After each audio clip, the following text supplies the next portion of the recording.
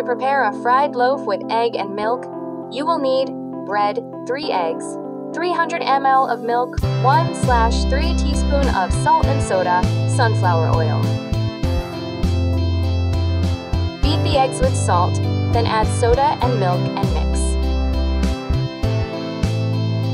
Cut a loaf. Pour 100 ml of sunflower oil into a preheated frying pan. Dip the pieces of bread and milk with egg and put them in a frying pan. We turn it over as soon as it is ready and put it in a separate bowl.